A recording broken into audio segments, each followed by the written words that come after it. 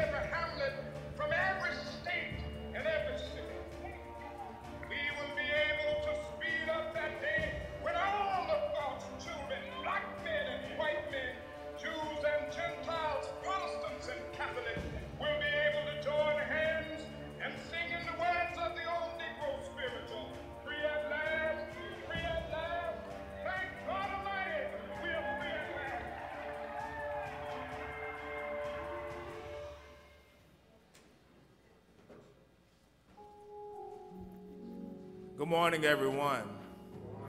Good morning as well to our online viewers as well as our Facebook viewers as well. This is the day that the Lord has made. Let us rejoice and be glad. And if you are glad that God has woke you up this morning, started you on your way, let's give him some praise on today in his sanctuary, in this house of prayer.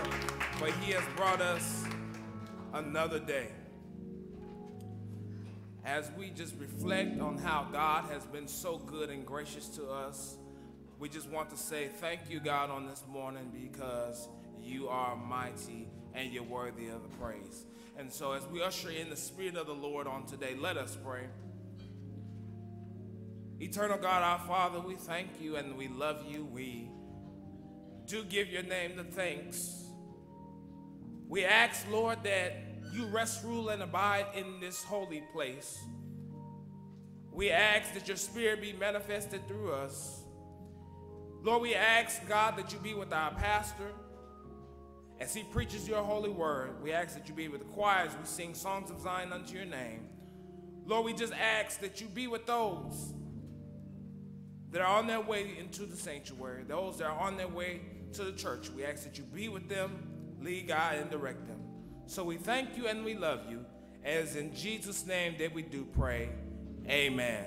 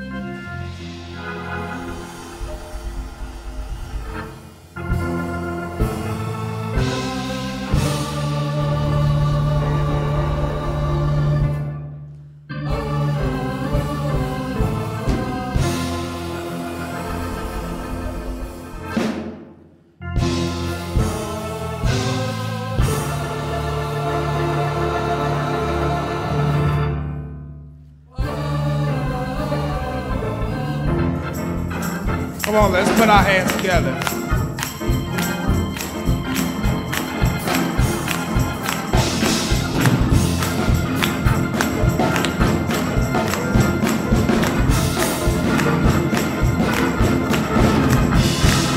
I feel your spirit all over me. I feel your spirit all over me. It's in my hands, in my soul, in my feet. Oh, I feel your spirit all over me. Help me.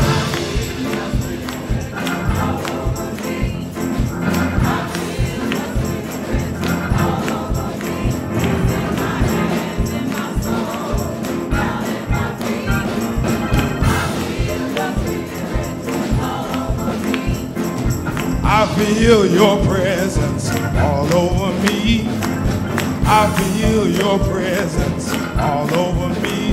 in my hands, in my soul, and down in my feet. Oh, I feel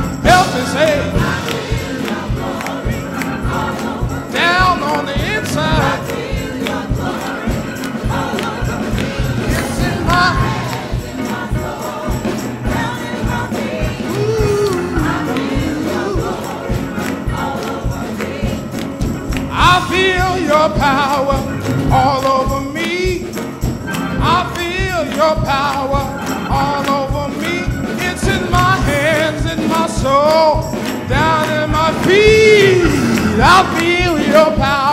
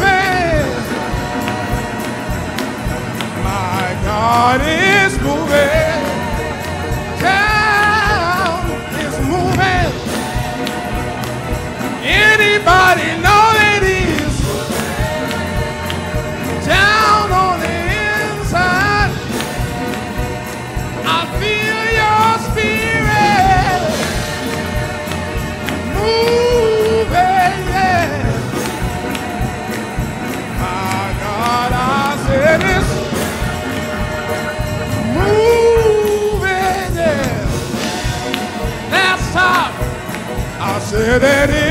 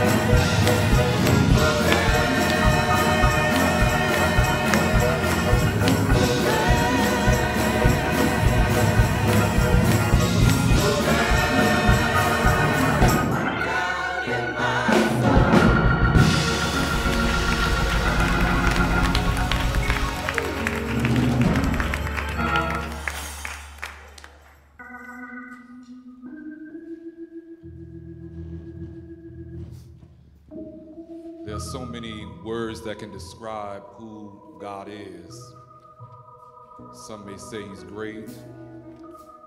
Some may say he's wonderful. But we say this morning he's awesome.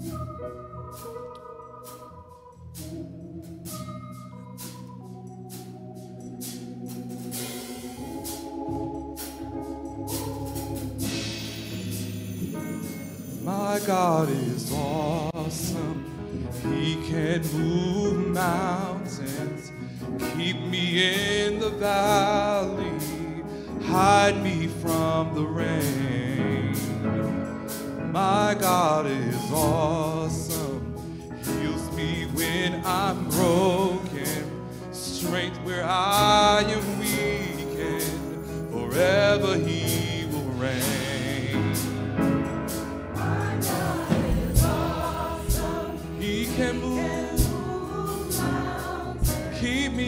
Valley, hide me from the rain. My God is, heals me when I'm broken, gives strength when I am weak. Forever He will reign.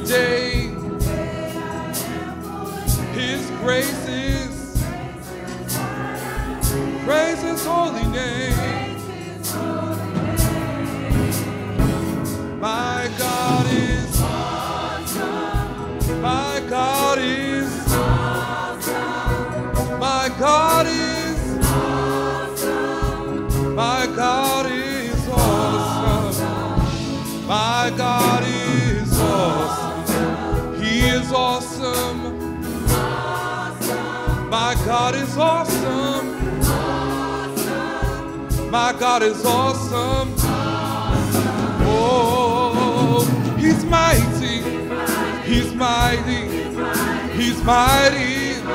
He's mighty. He is awesome. My God is awesome. Oh, He's holy. He's holy. He's holy. He's holy. He is awesome. My God is awesome. Church, He's great. He's great. In spite of it all, He is great. He is awesome. My God is awesome.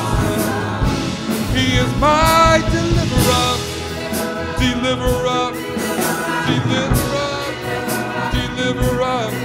He is awesome. He is awesome. He's my provider, provider, provider, provider. He is awesome. My God is awesome. He's my protector, protector, protector, protector. He is awesome. My God is awesome. He's my healer. He's my healer.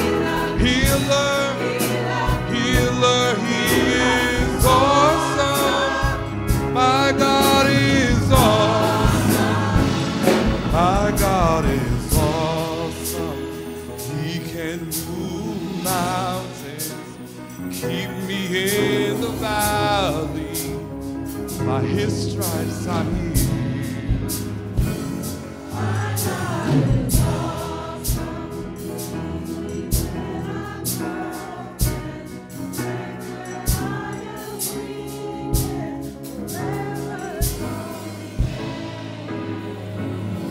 My God is awesome.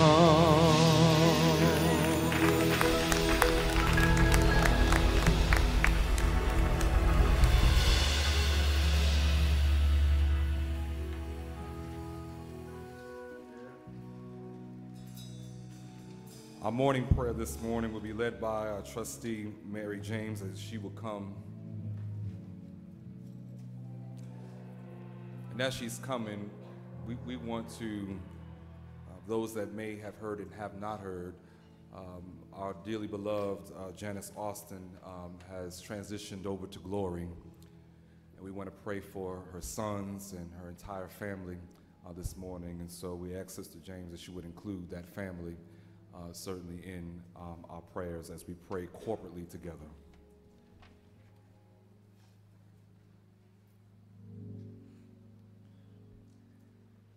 Dear God, my church family, visitors, those who are on the prayer line, those who are watching through media this morning. Father, we boldly come before thy throne of grace, thanking you, giving you all of the praise, all of the honor, and all of the glory. Father, we thank you for your mercy. We thank you for your grace. We thank you for your love. We thank you for your forgiveness. Heavenly Father, we ask that you forgive us of all sins that we have committed by thought, word, and deed against thy divine majesty. Father, we ask this morning that you keep the bereaved in mind. Father, all who are bereaved. And the family of our sister, Janice Alston. Please keep them in your loving arms of protection. Give them the comfort that they need. And let them know, Father, that all, all is well. Heavenly Father, we ask that you bless the bereaved all over our nation, Lord. Bless the sick, bless the shut in. Bless those who are just going through, Father. Bless those who are just going through. Father, we ask that you touch hearts and minds of our national leaders. Bless hearts and minds of those of us everywhere, Lord. Help us not to be mean and hateful to each other. Help us to show others the love and the kindness that you give to each of us, and let us share that with each other. Father, we thank you for letting us see another day, for giving us another chance to do better than we did before. We thank you, Father. Father, we ask that you give us the courage, the strength, the wisdom, everything that we need, Lord, in order to in order to just repent, Father. In order to repent and do your holy and your righteous will. Father, we thank you for your amazing grace. We thank you for being the awesome God that you are. Father, we just ask that you bless our families, our children. Just bless everybody everywhere, Father. And Father, bless those who have asked us to pray for them and bless those who have asked us to pray for others for them. Thank you, Father. Thank you for being so understanding, for being so loving, so forgiving. Lord, we thank you for your son, Jesus. Jesus, we thank you for everlasting life. And Holy Spirit, we thank you for indwelling in each of us. And Lord, as our pastor gives us the words that you have given to him today, please touch his mind and his heart, Lord. Protect him. Give him strength. Give him the wisdom that he needs to share your word with us. And Father, as we move forward, bless our choir. Bless our choirs who are each and every Sunday here to encourage, to inspire, to motivate us, Lord. Keep them in your loving arms of protection, Lord. Touch their voices, Lord, as you have in the past, and we know that you will continue to do. We thank you for your amazing grace. We thank you for all that you have done, all that you're doing, and all that you're going to do in each of our lives. As we enter sanctuary to worship, and as we depart to serve, all these blessings we thank you for in the precious name of your Son, Jesus the Christ. And in Jesus the Christ's name, I pray.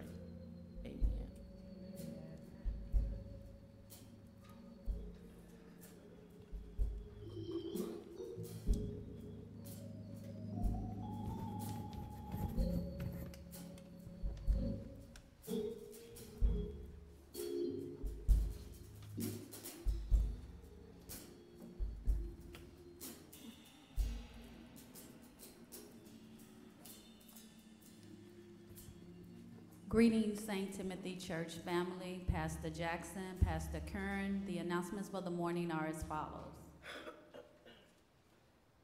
Rejoice evermore, pray without ceasing, in everything give thanks, for this, will, this is the will of God in Christ Jesus concerning you. 1 Thessalonians 5, 6 through 16 through 18. Join us on Wednesday at noon by dialing 712 432 8399 and enter passcode 795209.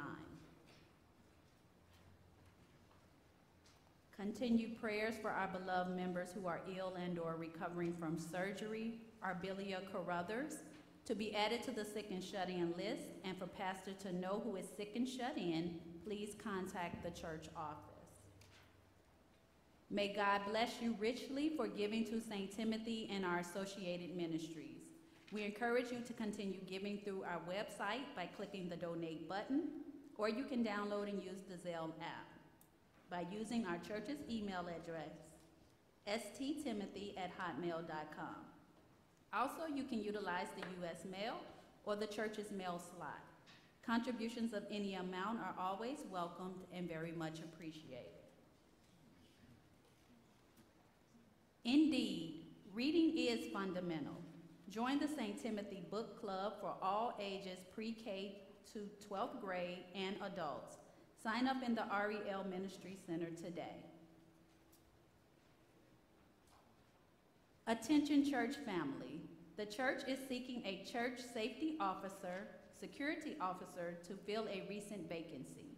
This is a part-time position that supports the church Monday through Sunday on a rotational basis with other CSOs. Interested parties are asked to please contact the church officer at, church office at 219-977-0079 or email us at sttimothy at hotmail.com. Referrals are also welcome. Thanking you in advance for your assistance. Please listen to the following community announcements. Free virtual seminar, Stay Heart Healthy and COVID Safe. Tuesday, January 25th, 5 o'clock p.m. Heart Care During COVID 19. Presented by Dr. Mihas Kodinchuri, The COVID-19 pandemic has not diminished the need for people to maintain good heart health. Dr. Cherry will share useful insights into preserving your heart health during this pandemic and beyond. To reserve your space, you may call 1-888-909-3627.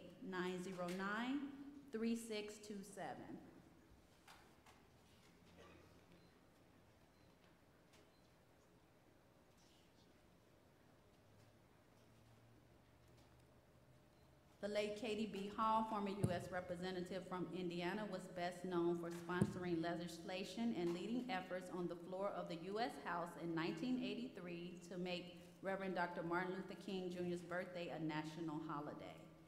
The late Representative Hall will be honored this afternoon at First Baptist Church, 626 West 21st Avenue, Gary, Indiana, at 3:30 p.m. Our beloved Pastor Jackson will be giving the invocational prayer. The church office will be closed on Monday, January 17, 2022, in observation of Martin Luther King Jr. Day. To my church family, thank you so much for your prayers and your well wishes during this time of grieving. I love you all, Brother Blair. Special thanks to Pastor Jackson and Shirley Moorhead. Thank you, St. Timothy family, for your heartfelt condolences and support for my family on the death of our mother, mother-in-law, grandmother, great-grandmother, and great-great-grandmother, Mrs. Pinky Barron. Your cards, flowers, and well wishes were greatly appreciated. Special thanks to my December group members for their support and L&L caterers for accommodating us in short notice for her repast. Please continue to pray for our family. So very grateful for your kindness, Dr. Steve and Jerry Simpson. The youth will meet virtual on Wednesday, January 19th for Wow and Out, starting at 5:30 p.m. to 6:15 p.m. Pastor Kern will be sending out an email to all parents for the Zoom link. We look forward to seeing your child virtually. The flowers on the altar are in memory of Alzada Steele, a dedicated mother, grandmother, educator, and choir member. Alzada strongly said the last words moved Jesus, and on November 22nd, 2012, he did just that. She would have celebrated her 81st birthday on January 17th. Her presence is greatly missed, but her strong spirit continues to live on through her children, grandchildren, and great grandchildren. Submitted with love, Moses, Jamia, Jayla, and Jazz. And that concludes our announcements for the morning. At this time, we would like to recognize our visitors. We are pleased that you chose St. Timothy as your place of worship today. It is our sincere hope that you would come and visit with us again. I did not receive any visitors' cards. If there are any visitors, will you please stand and be recognized at this time?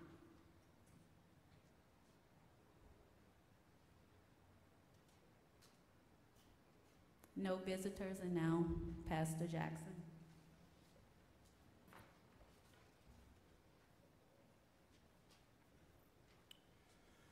Just a few um, additional uh, announcements.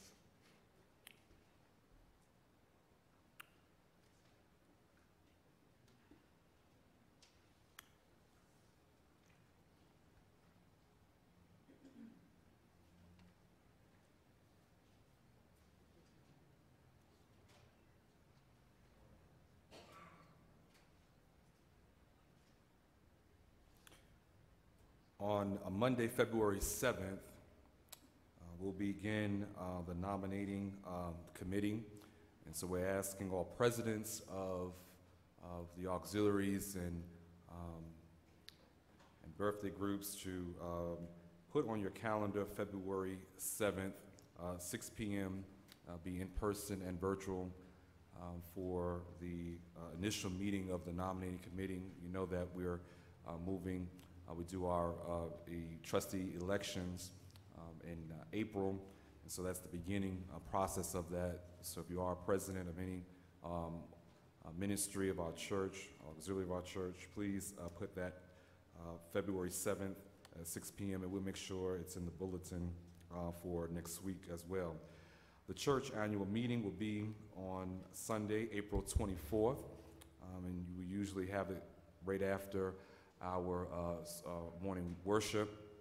And so, like we did last time, we'll um, have a little um, cake and punch um, between, no, we do some chicken wings uh, in between uh, the service and, uh, and our meeting.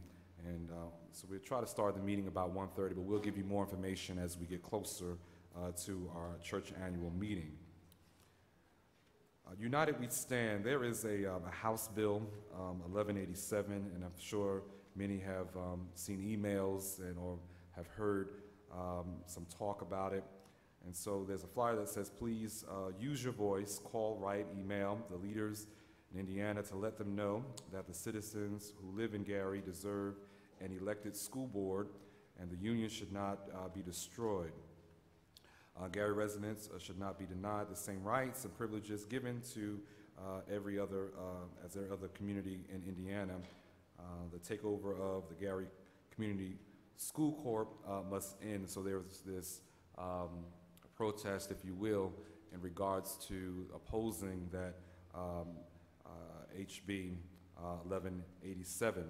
Uh, and so I have gotten a few calls in regard to what um, uh, my position is and what I will do as the pastor of our church and what our church, how we're going to respond. And my initial um, thought uh, is to uh, put together uh, a, a list of names, petition, if you will. And so those that are uh, opposing that, you want to, uh, we want to sign the petition um, after service is uh, completed in the back in the Ariel Ministry Center. Uh, we'll have those sheets available that you can sign on. What I'm going to do is add a cover letter to that and, uh, and send it to um, Representative Todd um, Huston, the Speaker of the House, um, also Attorney Justin uh, McAdam, and, uh, and, uh, and who is the President of um, the um, DUAB, and, uh, and then there's a, um, another person of uh, Representative Tim Brown as well.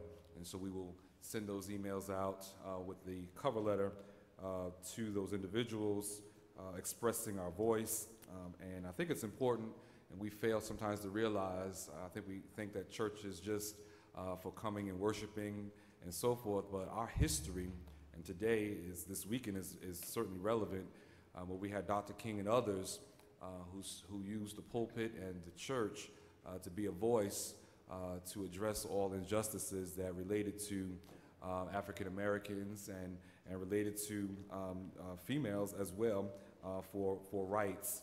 Um, so we want to uh, continue the fight and not be silent, but as my, um, my kids would say, uh, Dad, we got to stay woke. I know what that means, right? You got, we have to stay awake. Um, and sometimes when we sleep or the church sleeps, uh, that's when the enemy gets real busy uh, because we are silent. And so we want to certainly express um, our voice uh, in this time. Want to make mention of that um, in our community there is a transition of one of the great uh, trailblazers um, in this area. Um, and so we want to make mention of Pastor Emeritus uh, from the Clark Road uh, Baptist Church, Reverend Dr. Uh, Ferris uh, D. Evans, uh, had passed away. And so his, um, the arrangements have been Friday.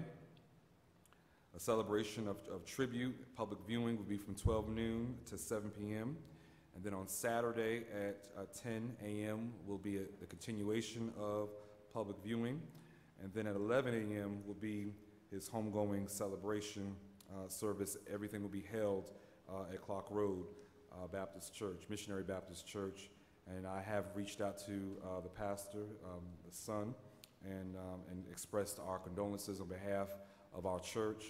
Um, and, um, and he gave me at that time the arrangements. And so we want to keep that congregation and certainly the Evans family uh, in, our, in our prayers.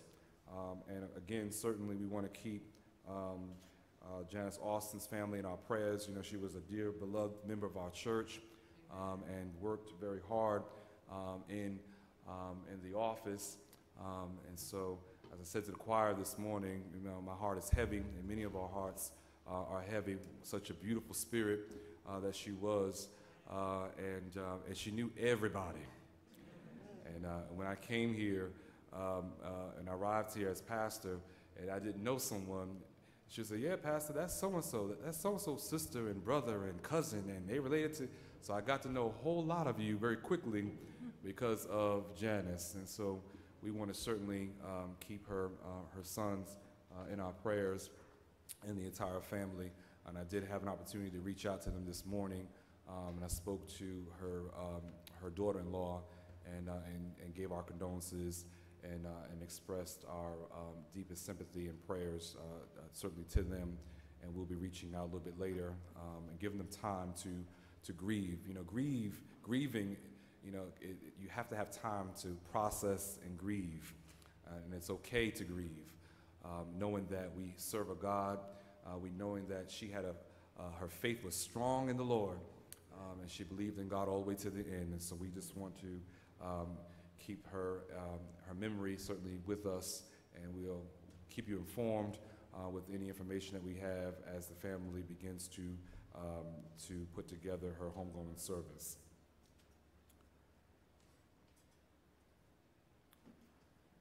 Those that are uh, present, uh, the, again, our envelopes, contribution envelopes are available. So after service, please be mindful of uh, picking up your envelopes. If you uh, know someone that you may want to pick up their envelope for them, again, that's fine, but make sure they know you're picking it up and make sure you deliver it uh, certainly to them uh, so that they can give.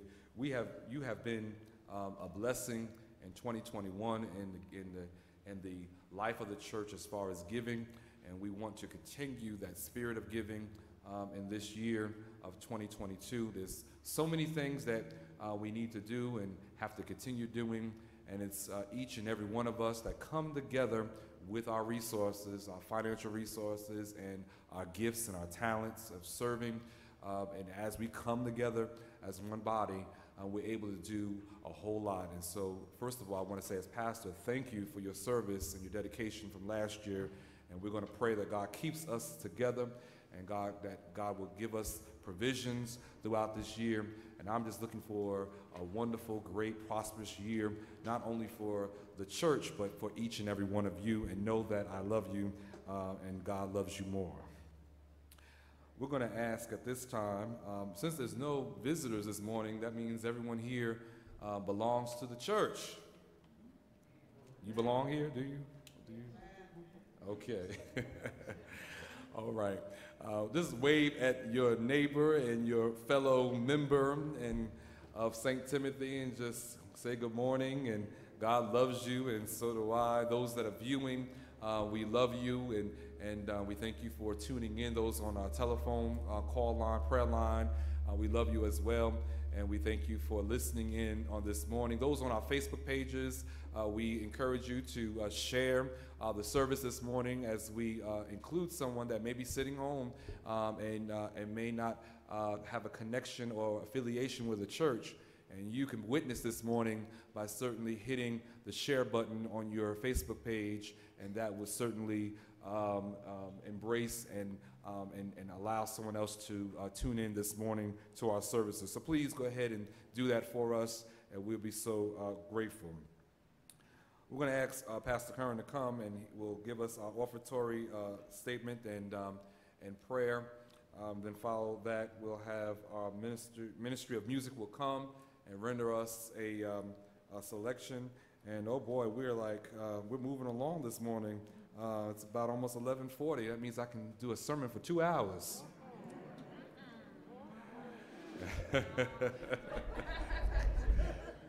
All right, Pastor Curran's going to come.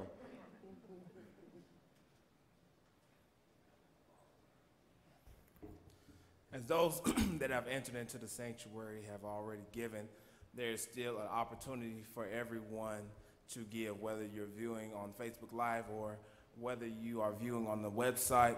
You can give through two entities, and that the first entity is through the app called Zelle. And you can download that app and uh, give to the church's email. That's sttimothy at hotmail.com. Or you go onto the church's website and you can click on the donate and giving tab and give your offering your uh, tithes, your contributions through there. God loves a cheerful giver. Amen. Amen. And if you don't like to give, clap your hands. Amen. So we do uh, love to serve God, and we are glad that we are able to give because God first gave unto us. I think some, some people just now catching my joke. and so God first gave to us, so why should it be so hard for us to give back to Him? Let us pray. Our God and our Father, we thank you and we love you. We praise your holy name. Lord, as we have as we give unto you, we ask that you bless it. The seed that we sow, we ask that we may reap a harvest from it, not to be boastful nor bragful about it, but to tell everyone that you are a blesser and you've been blessing us time after time after time. So, God, the seed that we have sown, Lord, we ask that it produce a great harvest. In Jesus' name that we do pray. Amen. Also, if there are any youth in the sanctuary right now, if you will follow me to the REL Ministry Center so that we may have youth church.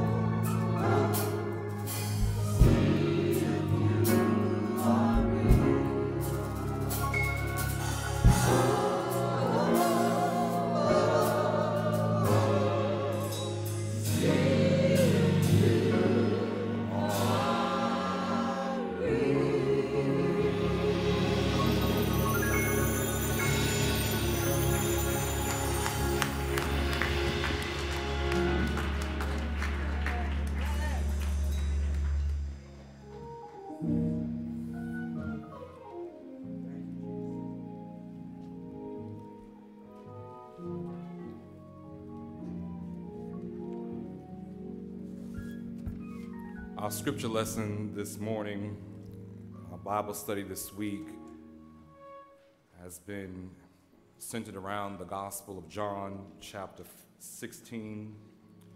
And I would encourage you in your own uh, time of study and meditation that you would read the entire chapter. But for the purpose of this morning, as we glean into God's Word together, let me start at verse 20. Again, the Gospel of John, chapter 16, starting at verse 20. This is a story, um, a narrative of Jesus, and as he has conversation with his disciples, he tries to move his disciples from grieving or from grief and turning their grief into joy. Verse 20, he says this Jesus speaks, and he says, tell, I tell you the truth. You will weep and mourn while the world rejoices. You will grieve, but your grief will turn to joy. A woman giving birth to a child has pain because her time has come. But when her baby is born, she forgets the anguish because of her joy that a child is born into the world. And so with you, now is your time of grief. But I will see you again, and you will rejoice. And no one will take away your joy. And in that day you will no longer ask me anything. I tell you the truth, my Father will give you whatever you ask in my name. Until now, you have not asked for anything in my name. Ask and you will receive, and your joy will be complete. Go down to verse 33. And Jesus concludes his conversation with his disciples by saying this I have told you these things so that in me you may have peace. In this world you will have trouble, but take heart. I have overcome the world. May the Lord bless the hearing of his holy word.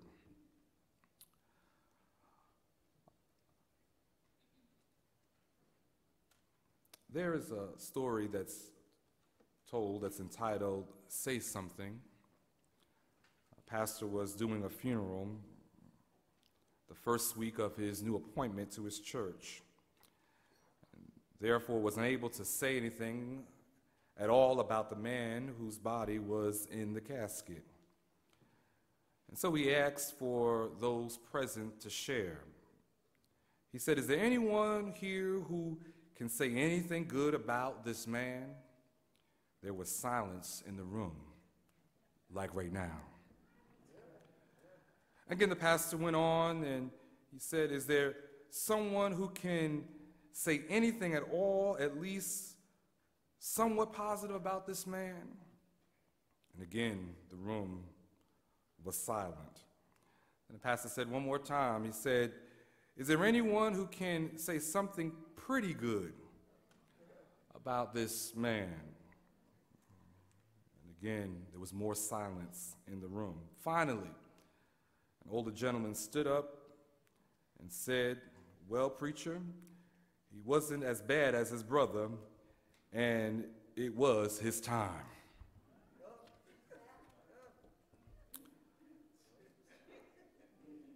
Let us pray. God, we thank you for your word, and as we glean into your word, uh, we thank you, O Lord, because your word encourages us and it gives us the strength and it gives us what we need when we need it. And so, God, speak to us through your biblical writ.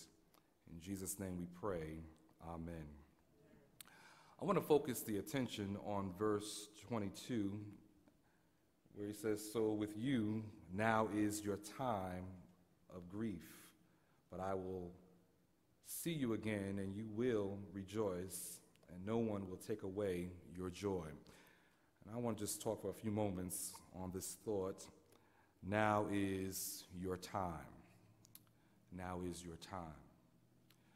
And even though the joke that I shared had to do with uh, a deceased person that no one or the pastor didn't know too much about, uh, and there was silence in the room, but it lets us know that as we live life, that each of us will have our time.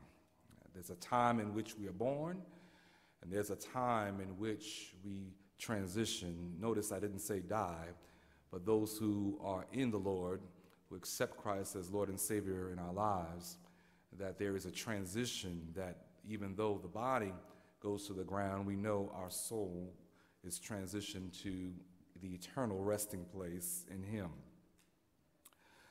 And as we look over these years, and particularly through um, the, uh, this weekend of celebration as we hold the memory of the Reverend Dr. Martin Luther King Jr., there was a time for him to be born. And for he was born on January 19th of 1929. But then it was also a time in which he also had to transition and we know that his assassination on April 4th of 1968. We look at his birth of 92 years later, and we look at the fact that, that he had experienced many troubles, but then those troubles, some of them turned to some sort of peace. Experienced grief, and also there were some joys in his life. But thousands of people all over our country are pausing today and specifically on tomorrow to celebrate the seasons of life in which Dr. King had lived, lived. An American Baptist minister, an activist who became the most visible voice and a leader in the American Civil Rights Movement in 1955, all the way until his assassination. But King advanced civil rights through nonviolence and his civil uh, disobedience, and he's inspired by his Christian faith and beliefs and his nonviolent activism that was drawn from Gandhi. As Dr. King was the son of an early civil rights activist, and most may not know this, that his father was also an activist and a preacher. But it's now that Dr. King's time has rolled on, he's eternal rest. We still, in this time in which we live, we still remember the experiences. During his time, he experienced the grief of racism and segregation and bigotry and lynchings, the unequal rights for blacks and women uh, the injustices with voting rights and other inequalities. It was his time to experience a season of grief, which caused him and other leaders to fight the, uh, non-violently against the evils of segregation and racism and to see the joy of equality in our lives as blacks over the years.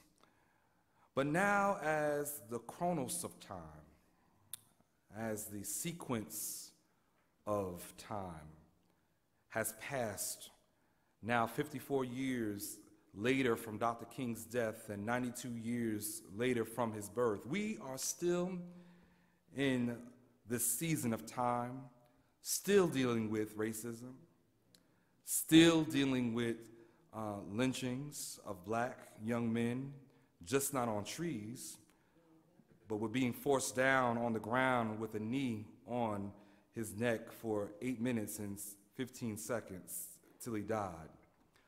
Or gunned down over a traffic violation that should have just ended up with a ticket, but death was the outcome.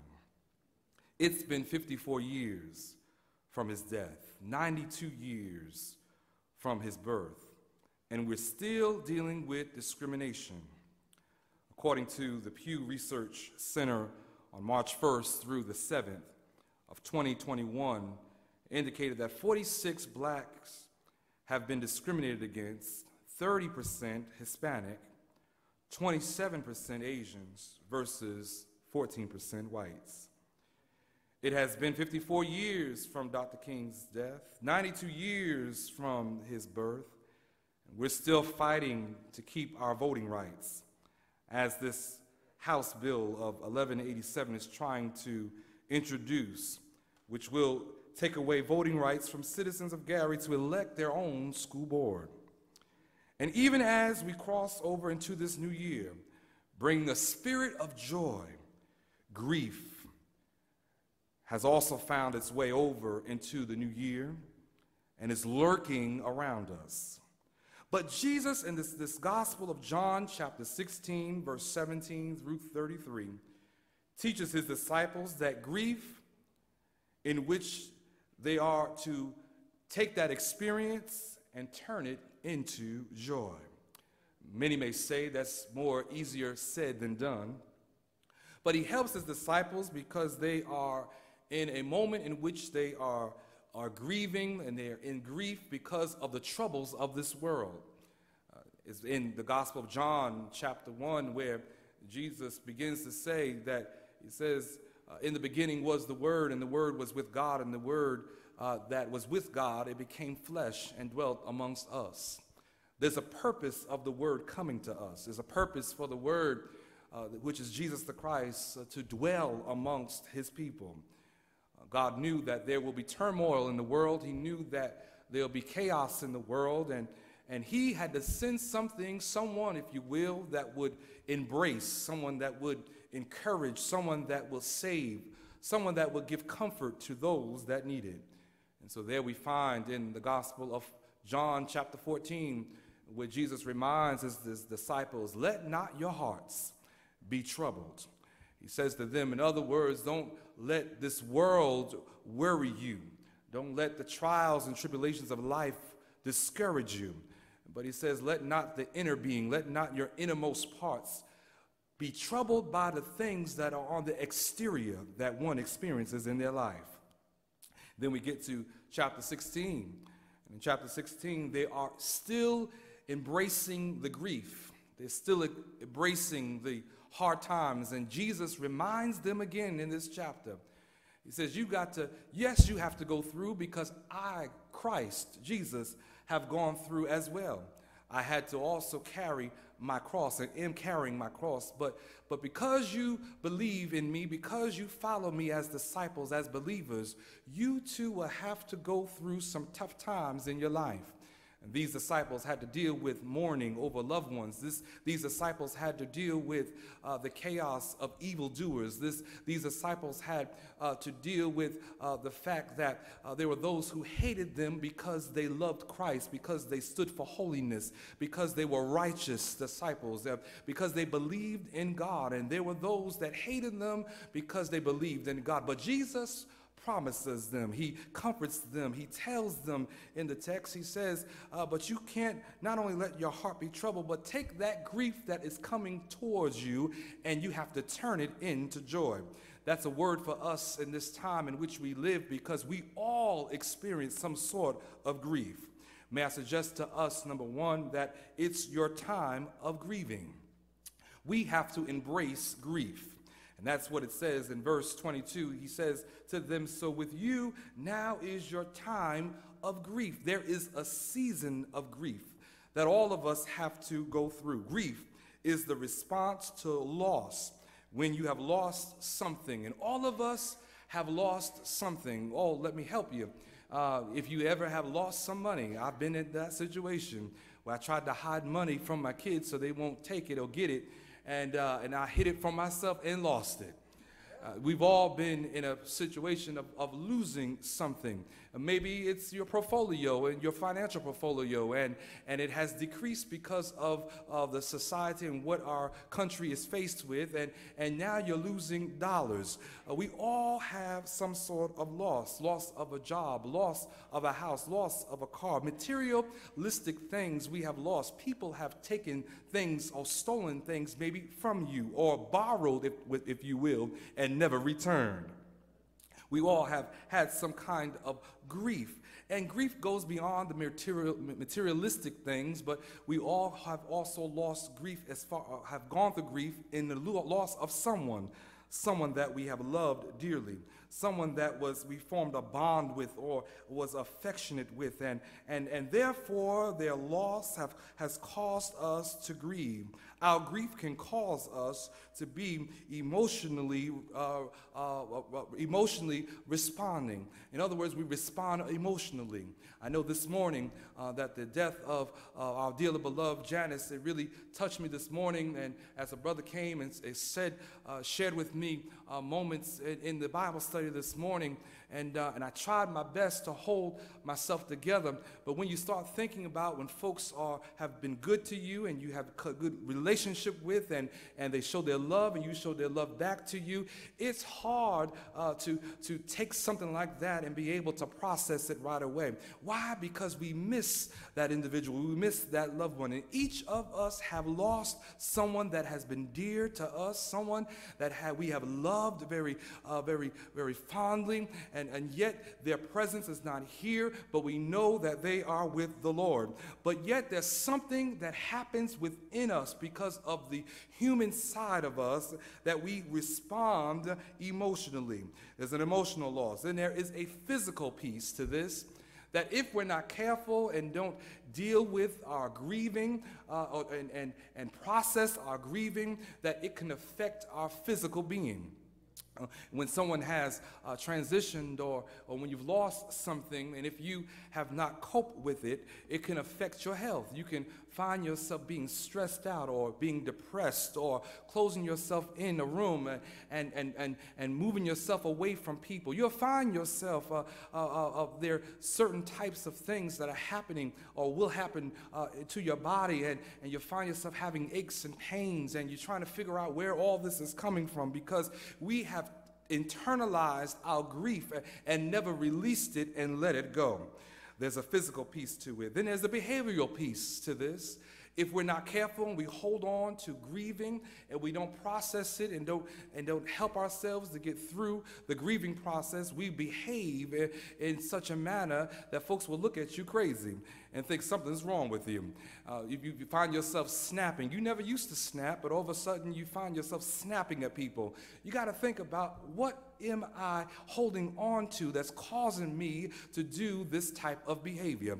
Uh, behavior is another piece to that. Uh, then there's a spiritual piece that when we hold on to the grieving, we get stuck in grieving, that uh, we begin to stop praying. We don't pray like we used to pray. We, we, we don't go to church like we used to go to church. And we don't have a desire uh, to worship God like we used to worship God. We turn ourselves from the church and from God and from the Word of God because the grief has gotten so uh, deep. But Jesus promises us in the Word of God that we will have a season of grief. We will have a season in which we will have to go through uh, some trying times, but yet the issue is, is how we go through the grieving process. It says it will be your time of grieving. But here's the hope for us. Thank God for hope.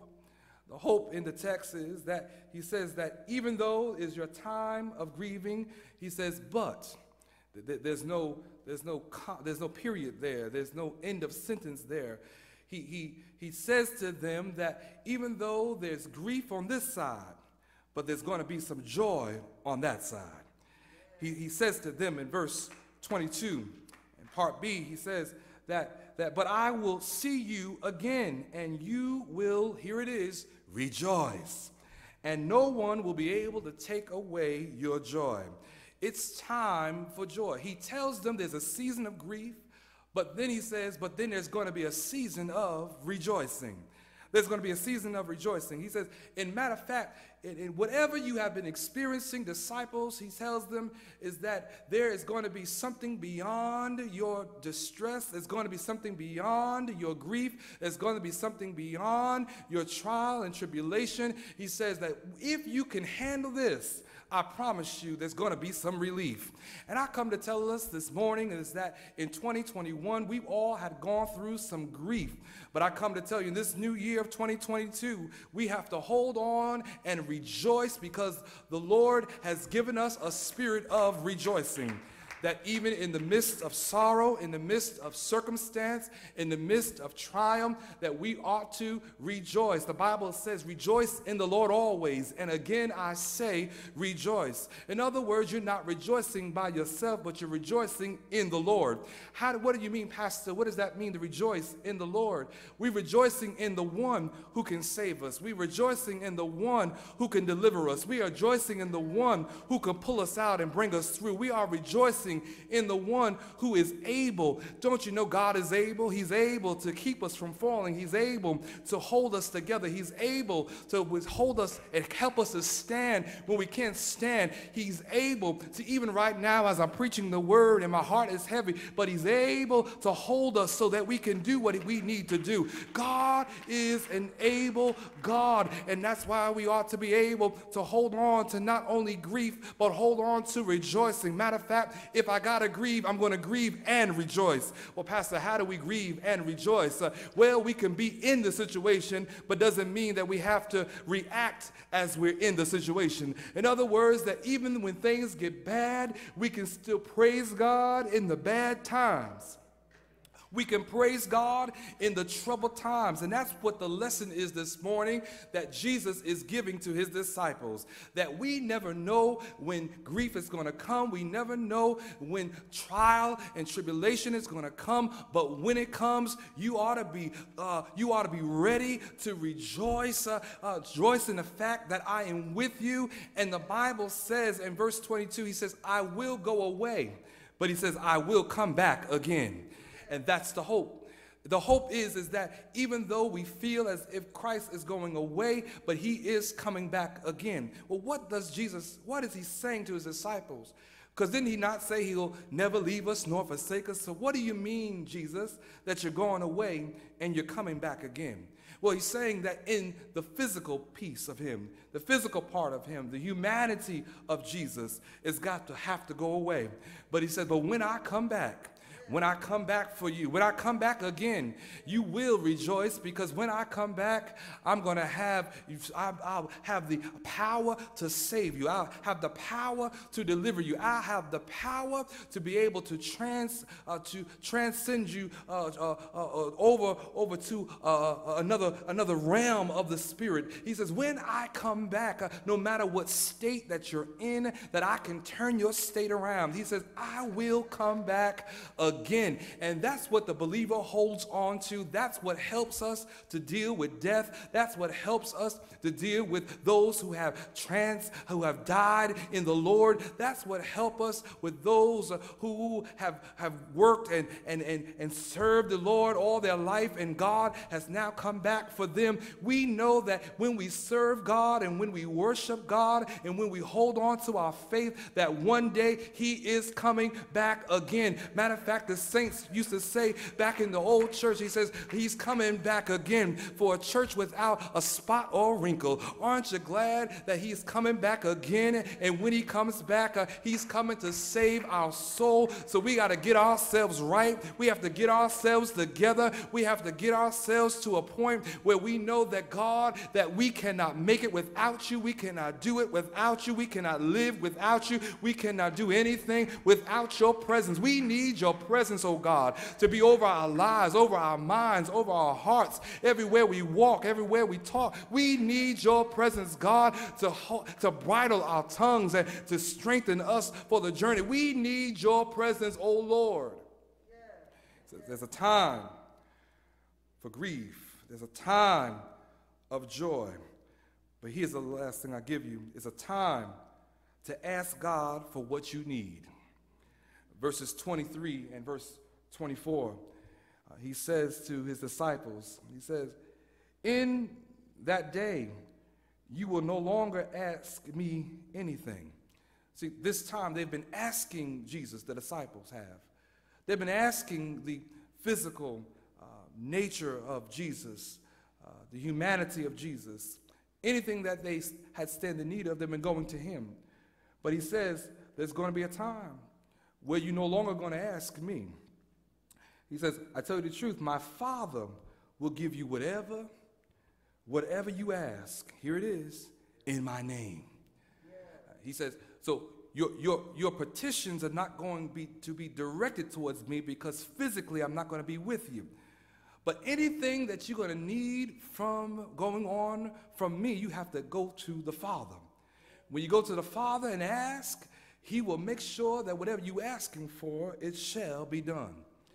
He says, You got to go to my daddy. I, I, th- I thought about when I read that verse a few times in my study time, and I thought about quickly that uh, when uh, my, my children, particularly now that they're older and they need stuff, they, they don't go to uh, grandma, they don't go to their friends or uh, their cousins, but when they need something, y'all know when they need something, we're not talking about $5 or $10. When they need something, they, they go to daddy. They'll text daddy, and my, my son got this word now, and sometimes I got to figure, you know, it makes me old. He said, Pops. And I'm trying to figure out, makes me like I'm a grandfather or something. I'm, I'm like, I'm 44 years old. You call me Pops. Uh, but the language of these young people these days, and, and he said, Pops, can you, can you send me some bread?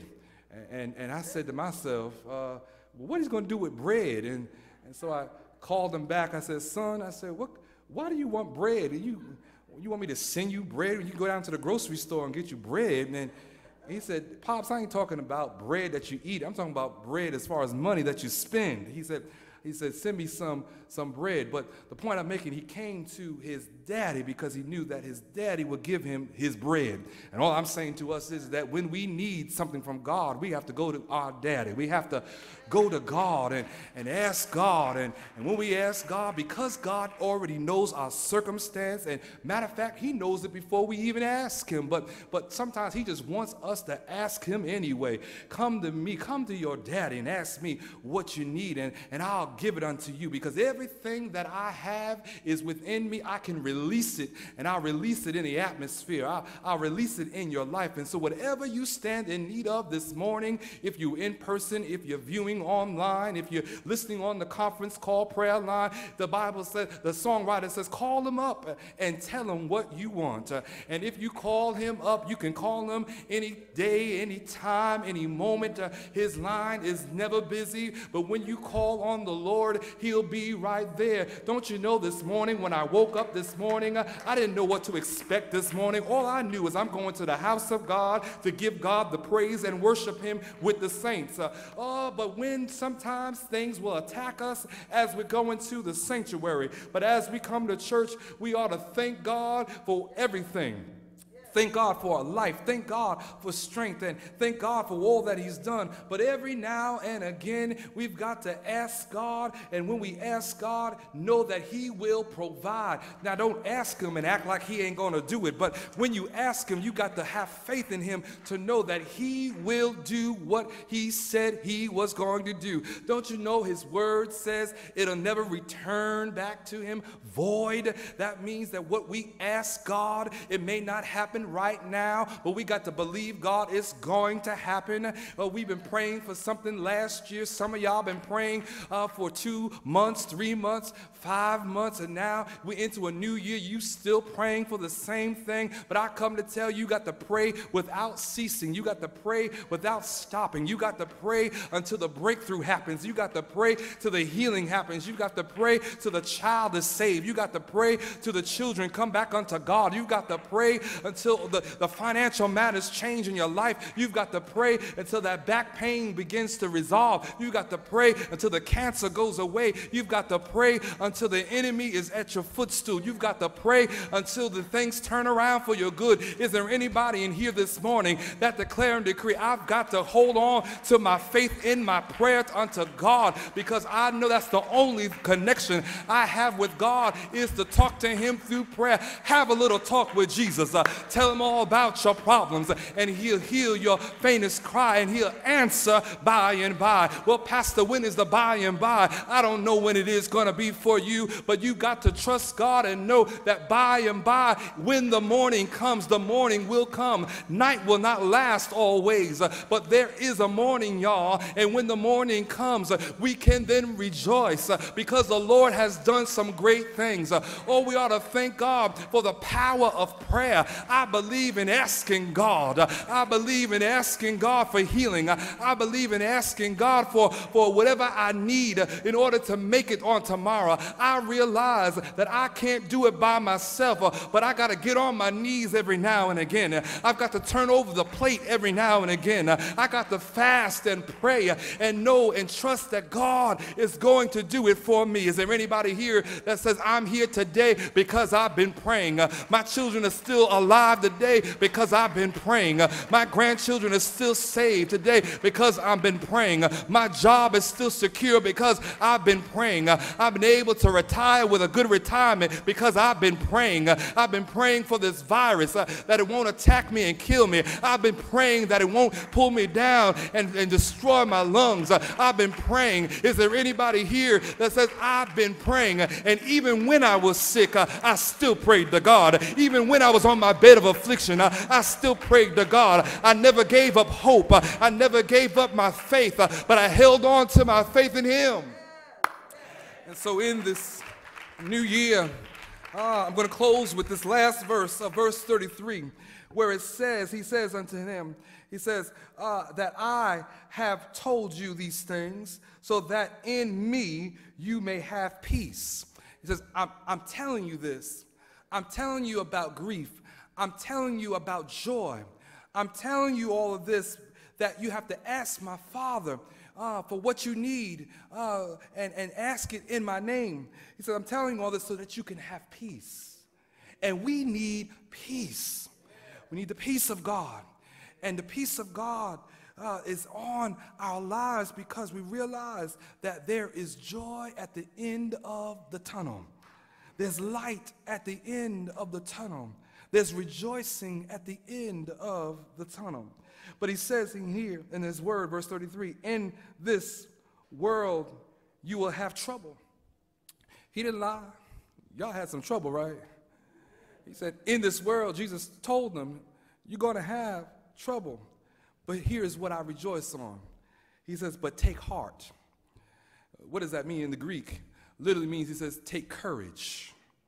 And courage is is the choice and the willingness to confront agony. It's, to, it's the willingness to confront pain, to confront danger and uncertainty. It, it's, it's, it's, to take courage is to, is to have strength in the face of pain and grief. We have to have courage.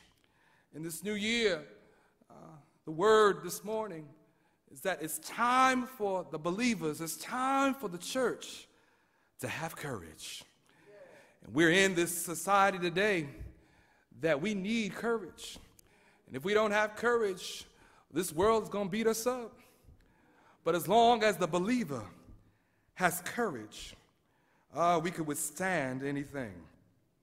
He says to them that you have to have this courage. As there's a time for grief, there's a time of joy, there's a time to ask God for what you need, and then lastly, there's a time to take courage. I believe this weekend of Dr. King, uh, this holiday that comes every year. Uh, some look at this holiday as a day off from work. Some look at the holiday as a day that we can go to the mall and go shopping and catch those sales. But there are those of us who realize it's not just a day off from work, it's not just uh, a day we can catch the sales in the mall, but it's a day that we honor a man who left a legacy, a legacy of courage. But Dr. King wasn't the only black man who left a legacy of courage, but Jesus left a legacy of courage. He was born in a manger amongst the animals. That's courage. He performed his first miracle at Canaan, the wedding feast. That's courage. When he didn't send away the crowd of 5,000, and 5,000 was just the men, that's not counting the women and the children, so it was more than 5,000. He didn't send them away hungry, but he fed them with five loaves and two fish. That's courage.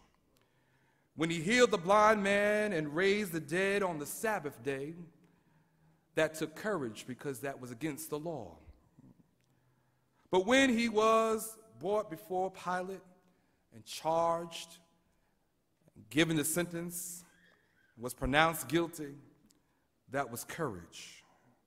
And then when he was nailed to a cross and he hung there for all humanity, that's courage.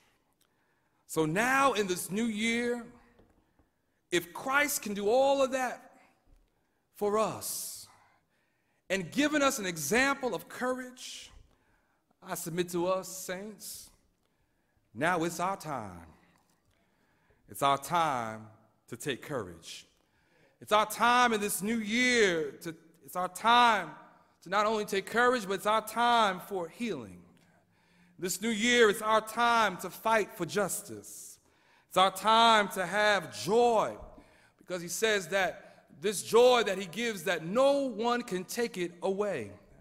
And that's when the uh, psalm, psalmist says, I think was Shirley Caesar says, this joy that I have, the world didn't give it, and the world can't take it away.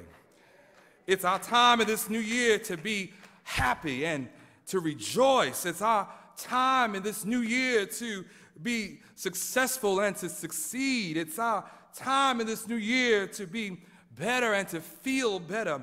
It's our time to prosper and be victorious. And it's our time, people of God, to, to stretch our faith now, I know some of you said I stretched it last year and God has caused things to happen for me to stretch my faith. But uh, I tell you, in this new year, God's going to cause things to happen for you to stretch your faith even the more. Stretch your faith. He, in this new year, it's time for us to grow in God and, and to get a deeper understanding of His Word, to go to Bible study and Sunday school and to stretch out our knowledge of who God is. It's our time in this new year to be faithful in the house of God, uh, to be able to serve the Lord. Whatever your ministry is, uh, it's your time to step up to the plate and do better than you did last year. It's our time this year to be able to be motivated for Christ, motivated to serve, motivated to worship, motivated to give, motivated not that, that, that the spotlight is on you or anybody has to call your name, but you're doing it because it is of the will of God and that God has put on your heart to do. It is our time in this new year to grow in God, to fast and pray. Uh, it's our time uh, to serve God. It's our time to go back back to school, those of you and get your degree. It's our time uh, to love.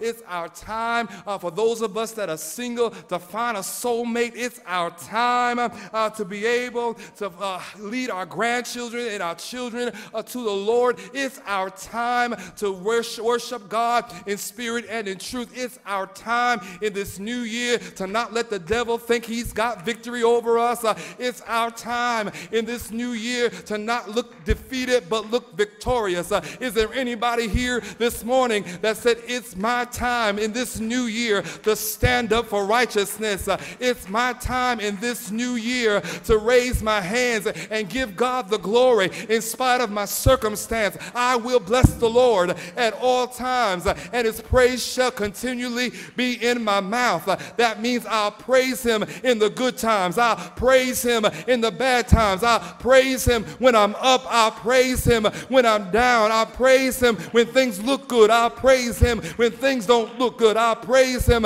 when I'm happy and I praise him when I'm sad. Is there anybody here this morning that can declare in this new year, it's my time to shine?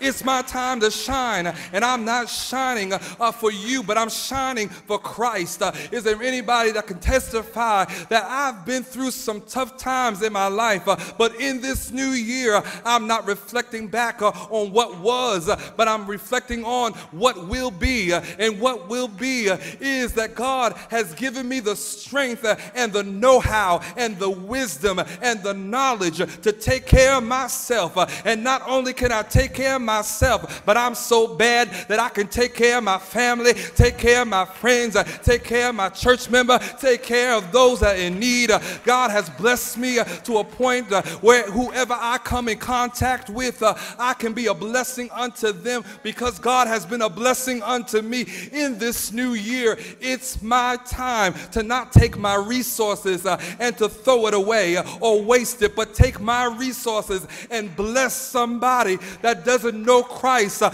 bless somebody that head is down. Bless somebody who is uh, poor in spirit. Uh, bless somebody that may not have what I have. Is there anybody in this new year that will declare that I am on the battlefield for the Lord uh, and I'm going to serve him until I die?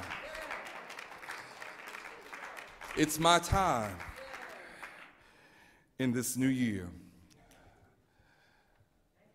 to experience grief, experience joy, experience the petition unto God, and it's my time to take courage. When you leave here today, encourage somebody and just tell them it's your time. If they're complaining about life and complaining about everything that they're going through in their life, turn it around for them. Take the, take the negative and make it a positive. Don't let folk keep giving you negativity and then you just take it. That, that stuff becomes poison after a while and get in your system, and before you know it, then you start speaking. And you start acting negatively. But, but Jesus is teaching his disciples that you got to take it, turn it around, and make it a positive. Take the grief, make it joy. Whatever your grief is this morning, whatever you're grieving over, make it joy. Because the joy of the Lord is our strength. Let us stand all over the sanctuary.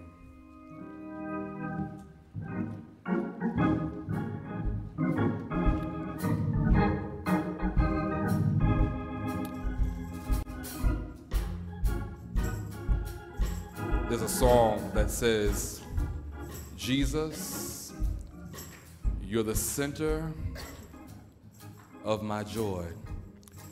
And if we're ever going to experience the joy of God, we got to know He is the center of our joy. There may be someone here this morning that may need to accept Christ as Lord and Savior over your life. This is the time. That's the word this morning. It's your time. It's your time to accept Jesus. Apostle Paul says in the book of Romans, he says, to confess with your mouth and believe in your heart that He is Lord. The Bible says, and you shall be saved. There may be someone here this morning that needs to accept Christ in your life. Now is your time. Second call is I'm already saved but don't have a church home, and I want this church to be my church home where I worship and I fellowship with the saints and I serve God in the church and also in the community. If that's the call on your life, we bid you to come. We welcome you to come. Don't let this opportunity pass you by. Would you come, my brother? Would you come, my sister? What do I do? Come down the aisle to the altar and we'll meet you at the altar. There may be someone that's viewing this morning on our broadcast or listening on the telephone line, conference call line. We invite you to call the church, say, I accepted Christ as Lord over my life and I want to be a part of the ministry. We welcome you. Where I go, I'm gonna let it shine. Everywhere I go, I'm gonna let it shine, let it shine, let it shine, let it shine.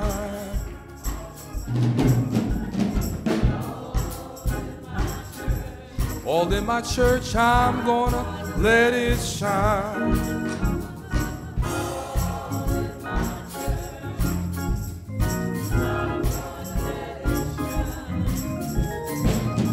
All in my church,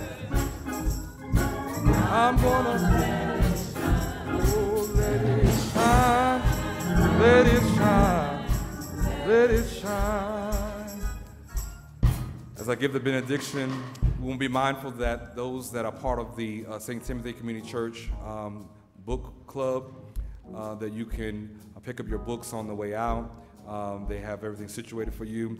Those that want to sign the petition, uh, I'm going to ask that. Um, I think I saw her this morning, uh, Sister Pam Johnson. Uh, if you would see her, she'll be, be at that first table there. And if someone else can help and assist her, to, if you want to sign up uh, for the petition so we can get that, uh, respond to that as well. Let us pray. Almighty God, we thank you for the worship experience this morning. And oh Lord, we thank you that you have allowed us to see this new day that we have not seen before. And Lord God, we have been encouraged this morning through your word that this is the time for us. And whatever you need us to do, oh Lord, we're going to we're going to do it, oh Lord. We're going to listen to your voice. And God, as you lead and direct us, and as you lead and direct me, oh Lord, as I lead your church, as I lead your people, we ask, oh God, for your Holy Spirit to reside not only over us and around us, but, oh God, it within us as well.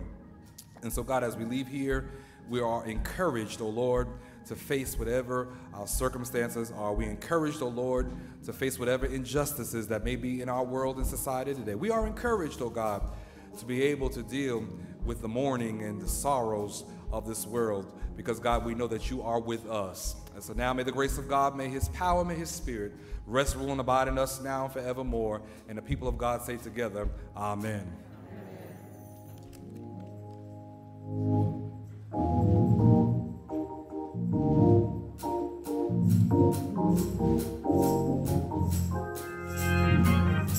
Amen.